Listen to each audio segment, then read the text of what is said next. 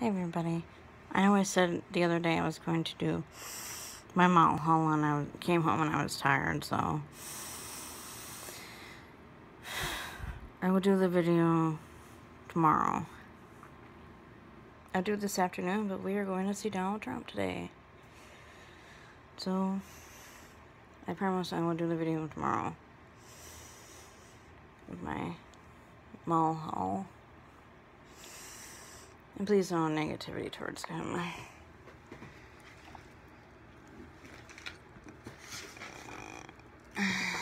He's the one I want for president, and that's all I'm going to say. I will see everybody mañana.